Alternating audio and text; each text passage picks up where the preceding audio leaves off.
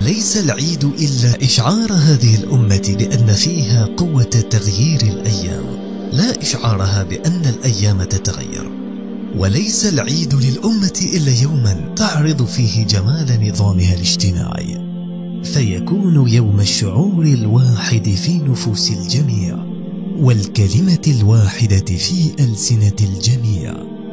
يوم الشعور بالقدرة على تغيير الأيام لا القدرة على تغيير الثياب كأنما العيد هو استراحة الأسلحة يوما في شعبها الحربي.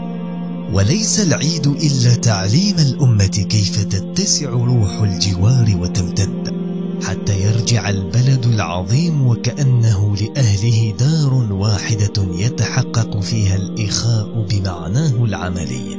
وتظهر فضيلة الإخلاص مستعلنة للجميع. ويهدي الناس بعضهم إلى بعض هدايا القلوب المخلصة المحبة وكأنما العيد هو إطلاق روح الأسرة الواحدة في الأمة كلها.